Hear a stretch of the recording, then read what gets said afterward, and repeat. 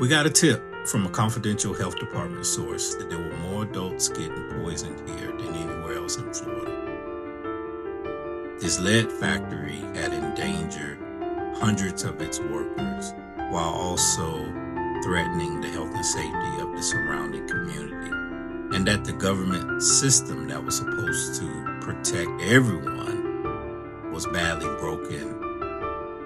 This story combines data mining and multimedia storytelling with old fashioned shoe leather reporting to great effect.